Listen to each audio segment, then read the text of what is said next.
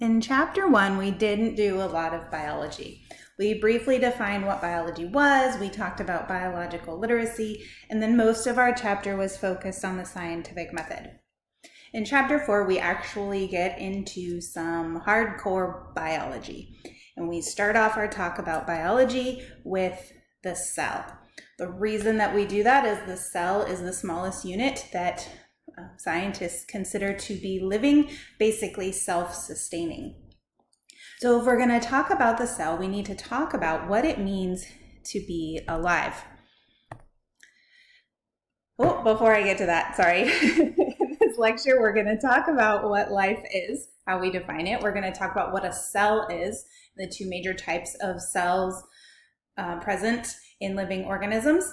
We're going to talk about the characteristics of those different types of cells, and then we're also going to talk about the structure and function of the cell membrane, which encloses every cell. And we're going to talk about how the cell actually moves things in and out across the cell membrane. So let's get back to our definition of life. All right, so we're a biology class. You all probably know at this point that biology is the study of life. Bio meaning life, and ology meaning study. So, what do we mean by life? Well, if you think about um, any living organism, if you just pick one in your mind, you can probably identify some things about it that would tell you that it is living. Maybe it breathes, maybe it moves, maybe it eats, maybe it grows. Um, and this might be compared to something like a rock that just sits there unless some outside force moves it or shapes it. It's not doing anything on its own to change or move. So, all of those things are fine, um, but some of those things only define certain organisms. For example, you might look at your pet cat or dog or fish and say, oh, I know that's living because it moves. It moves on its own. But you might look at a plant and think, well, I know that is living, but it's not moving. But it is doing some of the other things that you would call living, like growing, like taking in oxygen, even if you can't see it. So, when we're defining what is living, we're actually defining a really broad category of organisms. We're defining things like humans and animals and insects that move and grow. And then we're also defining things like plants that don't move but still exhibit some of these other characteristics. We're also trying to define things like bacteria that are single celled organisms and things like algae that are really simple but still made up of a few cells. And then we also might be thinking about things like viruses that really live in sort of a shady area between living and non living because they have some characteristics of living organisms, but they're lacking some others that are really important. So there are several characteristics that as biologists we use to define that something is alive and therefore falls under this study of biology. The first one is that living organisms are a complex, ordered organization. Actually, that should say organism. Sorry, organism consisting of one or more cells. So, something like a bacterium, that's singular for bacteria, a bacterium is made up of only one cell, but it does exhibit these other characteristics and therefore we consider it living. Whereas humans are made of trillions of cells and they're still considering considered living organisms. They are complex and they are organized into a single living organism. For the rest of these characteristics, we're not going to spend as much time on them, and for most of them, I'm going to list them because either we don't cover them in this class or we're going to cover them in a lot more detail later. So, uh, living organisms also use and transform energy to perform work. Now, this means that they take in nutrients and use it to allow their body to grow and um, process their food, interact with um, their environment by moving, things like that. They also show sensitivity and responsiveness to an external environment. So if you think back to that rock I was talking about, just lays there in the sun for all eternity unless something comes and moves it. Whereas your cat might play with toys and snuggle you and scratch you when it's angry and beg for food, things like that. Characteristics of living organisms also include regulation and homeostasis. So, regulation just means um, controlling um, the processes within um, the living system. So, how it breaks down food, things like that. Homeostasis is taking that those processes to maintain a stable internal environment. For example, we maintain our own temperature. So a lot of our energy comes to keeping our body at a constant temperature. Um, all living organisms grow, develop, and reproduce. Um, you know this if you are a person, you've grown up from a baby all the way to uh, 16, 18, 25 year old, whatever you happen to be. And over that time, you have grown, you have developed, you've changed. Uh, some of you maybe have even reproduced at this point. Even if you personally have not reproduced, your cells are reproducing. Inside your body, your cells are reproducing all the time. So, reproduction is a characteristic of all living organisms. And finally, living organisms um, evolve and adapt um, to their environment through a process called descent with modification.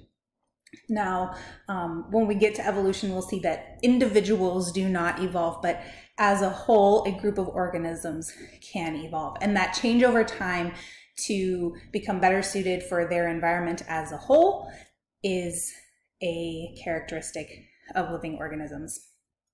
So within these characteristics, we see two major themes um, one is organization, organization of cells into living organisms, organization of processes to maintain homeostasis, to grow, to develop, and then evolution. Now, I know there's only one topic here under living organisms that says anything about evolution, but um, one of the most important themes in biology is evolution, and living organisms can evolve and do evolve.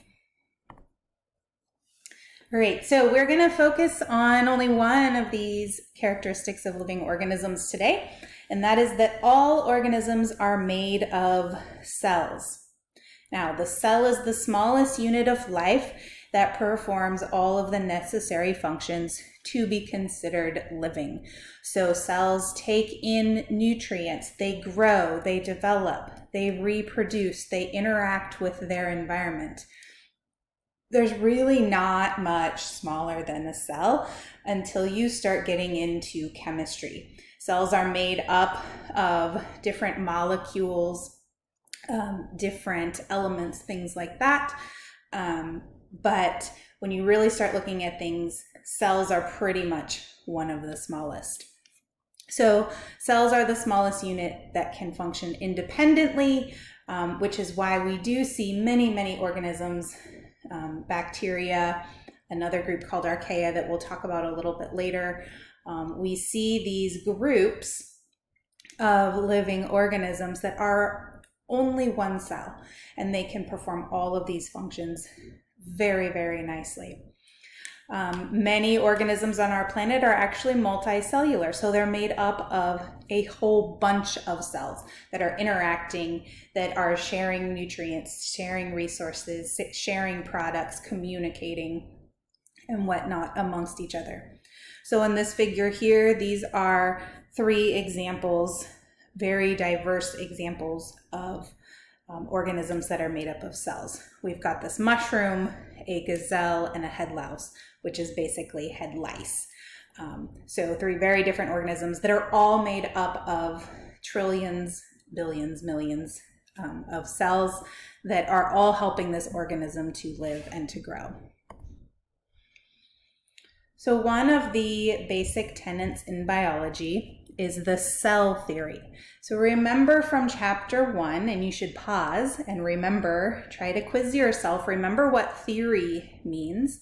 Remember from chapter one that a theory is a hypothesis that has been supported over and over and over again. Now, it is not a law, it is not definitive in the sense that it cannot be disproven. In fact, a theory can be disproven. But something becomes a theory because it's been tested over and over and over and over again with all kinds of different hypotheses related to it, and it still holds to be true in the situations that they test.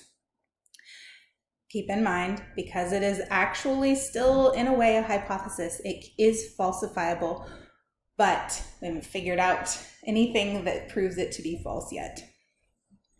So, uh, the cell theory is one of the unifying theories in biology and something that it is that is accepted by all biologists. Now, there are two parts of the cell theory. One is that all living organisms are made up of one or more cells. Now, I talked about bacteria just a few minutes ago. Um, that's a big example of our single celled organisms. Um, here we have three different examples of multicellular organisms that are being made up of a collection of cells. So we have humans, the collection of cells, mushrooms, collection of cells, um, plants, collection of cells. Now you might notice that these cells actually look a little bit different. Um, the human cells compared to the plant cells um, have slightly different shapes. Um, and we will talk about why that is in just a little bit. The second part of the cell theory is that all cells arise from other pre-existing cells. What does that mean? That means that cells reproduce.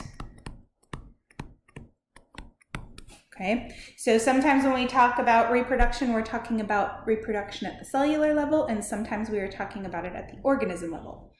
Either way, they, they both go back to a cell giving way to daughter cells.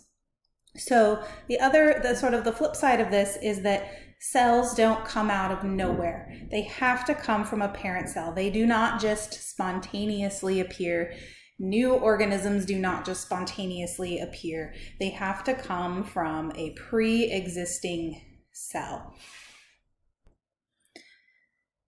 There are two main types of cells that are found on Earth, and in fact, there are only two main types of cells.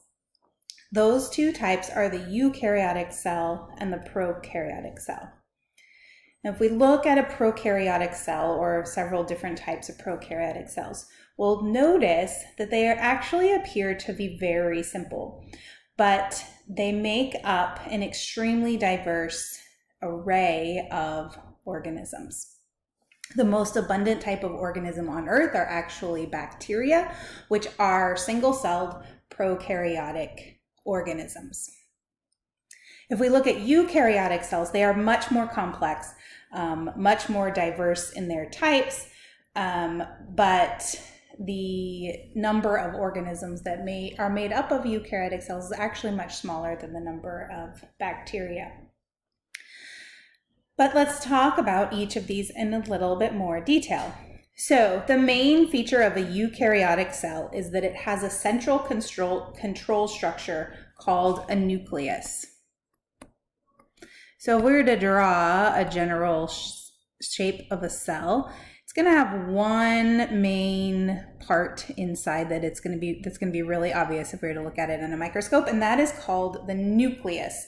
And it's sort of the center, the control center, or the brain of the cell. And in that nucleus, we have DNA.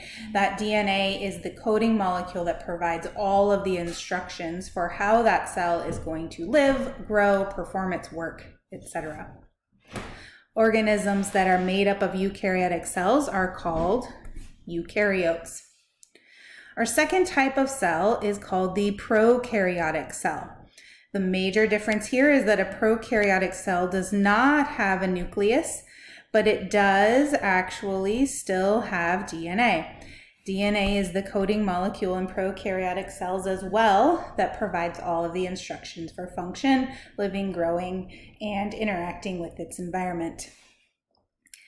Individuals that are made up of a prokaryotic cell are called prokaryotes. Prokaryotes are always unicellular. which means they are always made up of one single cell. This is in contrast to eukaryotes, which are made up of multiple cells or called multicellular. So prokaryotes have four basic structural features. And those four features are shared among all prokaryotes. Those four major features are the plasma membrane, which is a membrane, excuse me, a membrane that surrounds the cell. You can see it on your screen here in green. So all cells are going to have a plasma membrane. All cells are going to have cytoplasm, which is basically a fluid jelly-like substance inside the cells that's sort of um, all of the part, the uh, inner parts of the cell are sort of floating and suspended in. All cells are going to have DNA. Remember, that's our coding molecule that gives information for all of the cells within our body or within um, any organism. And then they are going to have a little structure, whole bunch of little structures called ribosomes. Now, ribosomes are really important because ribosomes take the information from our DNA and turn it into proteins. You're probably familiar with protein from your diet, but proteins make up a large part of our body. And proteins are really important because they are essentially the worker bees of our cells. Proteins go around and perform all the functions of our cells. They can be um, proteins that do a job, they can be proteins that are a product, they can be intermediates within products. So proteins are essential to how a cell works and lives. Now these four structures in all prokaryotes are also found in all eukaryotes. So these four structures are present in all cell types, no matter if you are prokaryote or eukaryote. You have a plasma membrane, cytoplasm, DNA, and ribosomes. For now, we're focused on prokaryotes, so let's talk about some of the additional structures in a prokaryote. Most prokaryotes also have a cell wall, and that is this brown structure on the outside. Cell walls are sort of a more rigid protective structure on the cell. They provide protection from the outside environment they provide um, an outside, almost like an exoskeleton on an insect, an outside support structure and protection for that prokaryote. Um, they also might have a capsule, which is sort of an outer protective coating. They may have pili, which are these hair-like structures on the outside they allow them uh, prokaryotes to attach to other surfaces. Um, sometimes they are important in transferring genetic material between two prokaryotes. And then um, prokaryotes sometimes also have a flagellum. So you are probably familiar with a flagellum if you think of a um, uh, think of a sperm. Um, it's that whip-like structure on the end of the sperm that you probably all learned about in reproduction in your health class in high school. Um, but uh, flagellum are essentially there as um, propellers. They um, flap around and help the organism move through um, its environment. So these additional structures are not found in all, but um, many of them are found in most of your prokaryotes. All right, so eukaryotic cells are um, much different in that they actually have compartments within the cell that give them specialized function. So if we go back real quick, um, you might notice that everything within this cell, the DNA, the ribosomes, the cytoplasm, are all sort of uh, floating within there, at least imagine that they're floating. Um, and they're not separated from anything else that's going on in the cell. So if this bacterium or whatever this happens to be brings in it is a bacterium, brings in some nutrients, um, it's just going to come in and float around in the cell. And the cell will take care of it. The cell will use it up, um, but it's not separated from any other component, component within the cell. But eukaryotic cells have compartments that are surrounded by membranes. And these compartments are called membrane bound organelles. So this is kind of a funny word, membrane bound organelles. This means there is a structure on the outside of these compartments that isolates them from other structures within the cell.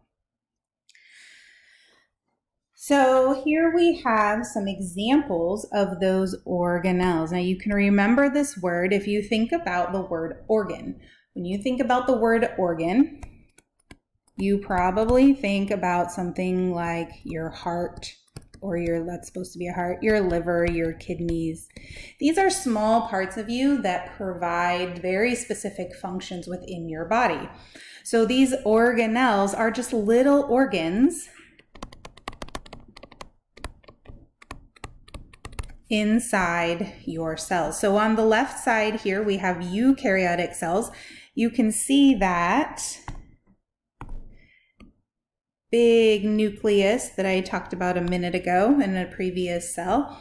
That is where we contain all of our DNA, all of the instructions for our cells. And then at the moment, you'll just have to take my word for it that there are other organelles in here that are doing different functions within the cells. We also have cytoplasm. Here it is stained kind of pink. That cytoplasm suspends those organelles um, around the nucleus inside that plasma membrane and um, sort of provides a little bit of structure for that cells, sorry, for that cell. Um, one of the characteristics of eukaryotic cells is that they're larger than prokaryotic cells. They are about, or at least 10 times larger. On the right, we have prokaryotic cells. This is a bunch of prokaryotic cells that are far smaller than that single eukaryotic cell. You'll notice, or at least you'll have to take my word for it, that we've got the plasma membrane and cell wall surrounding those cells. But you might notice that there's no defined nucleus. There are no other organelles. It all kind of looks like a swirly mess in there. And that's because there are no organelles in prokaryotes. So internal structures are not organized into compartments. Remember that there is DNA in there because that's the coding molecule that we need for all of our cells. Just can't really see it in this picture. You actually can't see it unless you know what you're looking for in that nucleus over there anyway. Um, and again, they are much smaller than the than a corresponding eukaryotic cell. So the important thing here is that there are no compartments, so no membrane bound organelles and no nucleus. So we are going to go through um, some of these structures that are found in our eukaryotic cells. And the two that we're going to focus on are animal cells and plant cells. Now, for the most part, or the majority of the organelles that are found in either animal or plant cells are actually going to be the same. So everything listed in this box here are found in both animal and plant cells. So the good news there is that you only have to learn the function in one of them because it's the same in both of them. So the nucleus has the same function in animal cells as it does in plant cells. There are a few organelles that are found in one or the other. So these centrioles are found only in animal cells And then this group over here, plant cells, contain chloroplast, cell wall, and vacuole that are for the most part only found in plants. Vacuoles are sometimes found in animal cells, but honestly for this class, we're just gonna go with vacuoles only in plant cells. So in a later video, we're gonna come back to the function of all of these organelles.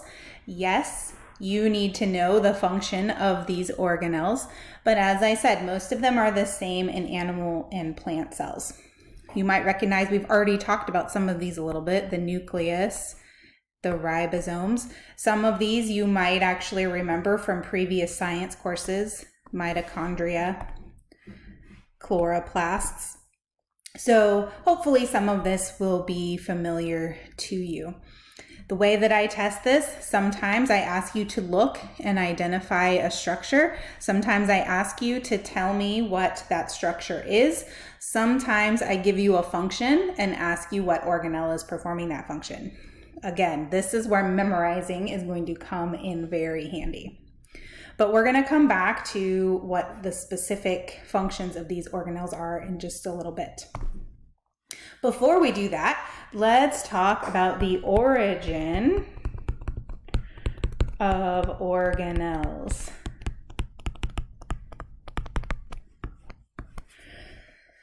So we're going to focus first on the origin of two organelles, the chloroplasts and the mitochondria. Now the origin of these two organelles is defined by something called the endosymbiosis theory. Well, I learned it as endosymbiont. Doesn't really matter. It means the same thing. Um, so whichever I say, that's what I mean. Endosymbiosis or endosymbiont theory. Please take a minute to memorize this word. Say it out loud a few times. Learn how to spell it. This is the most misspelled, mispronounced word in all of Biology 100. And if you need to recall it and you can't figure out the word, you're going to have problems. So it is pronounced endosymbiosis. So let's talk about what this word means. Endo means inside or within, and symbiosis means a beneficially, a, yes, beneficially, excuse me, mutually beneficial relationship.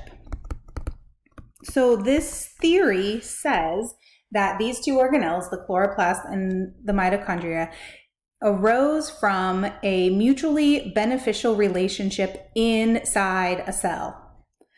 So let's talk about what that means.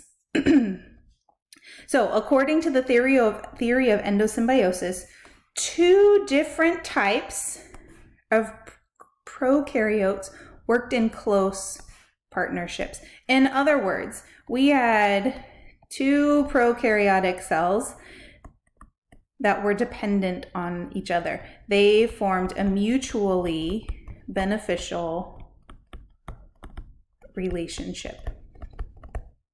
So let's talk about how this might have happened. So the endosymbiosis theory says that there was an ancestral prokaryote and it engulfed another ancestral prokaryote. Now I'm using the word ancestral because we're going to give rise to eukaryotes. So essentially the ancestor to eukaryotic cells were, was a prokaryotic cell that evolved a mutually beneficial relationship with another prokaryotic cell. So the theory is that this happened in a few steps. One, ancestral prokaryote number one engulfed, essentially ate, prokaryote number two. Now, prokaryote number two was really important because it was efficient at converting food and oxygen into energy.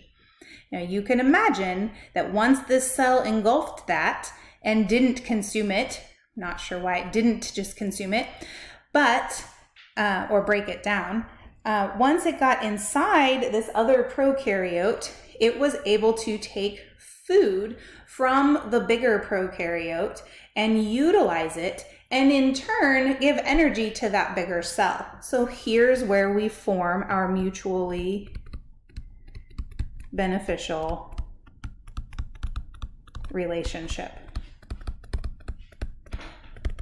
All right, so we have prokaryote 1 engulfs prokaryote 2, doesn't eat it, realizes that this is really, really cool and has a source of energy that can come from inside of it.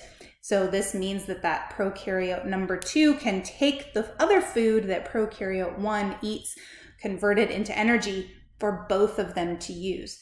That's pretty beneficial if you're the big guy.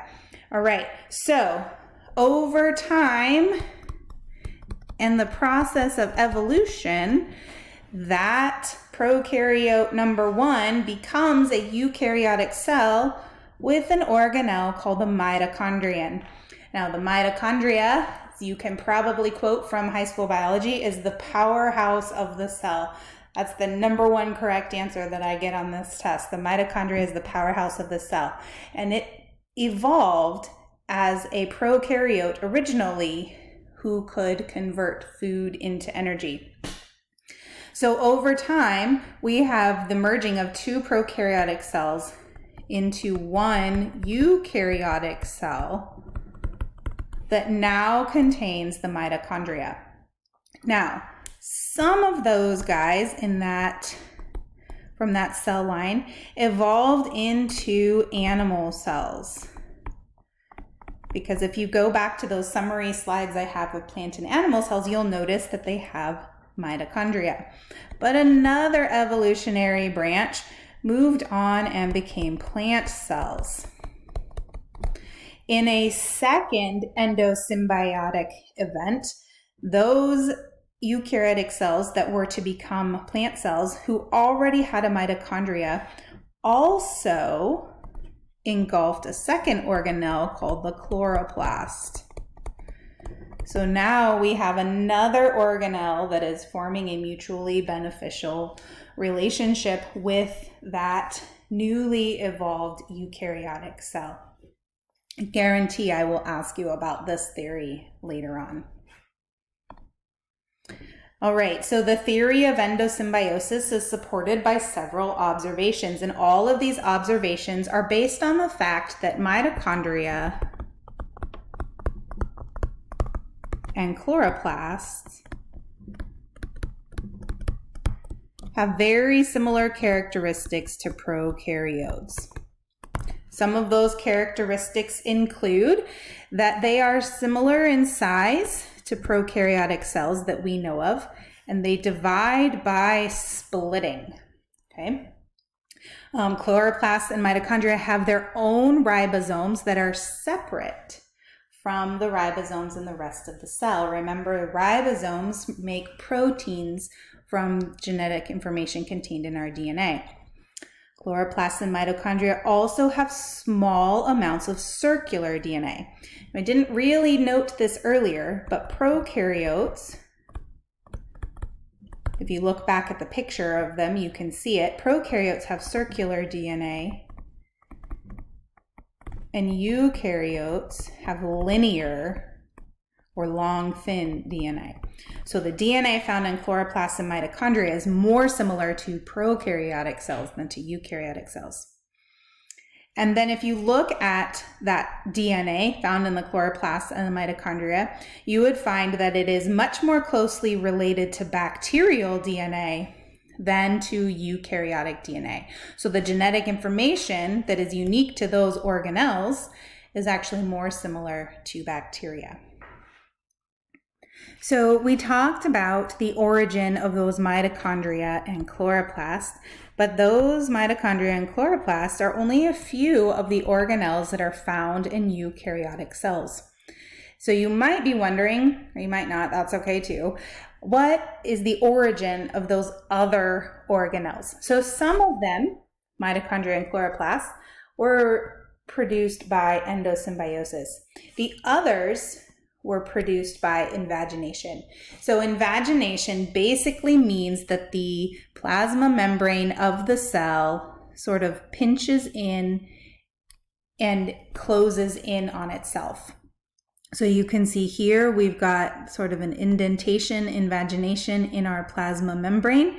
And then what happens is that the, the plasma membrane sort of fuses around it and you end up with these organelles just bear with me there. You end up with these organelles that are actually made up of plasma membrane and come from invagination of that plasma membrane.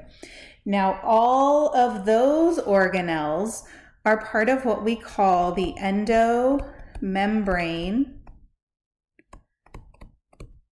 system. Okay, so remember endo means inside. We know membrane means mostly at this point, which is just the um, outer material of the cell.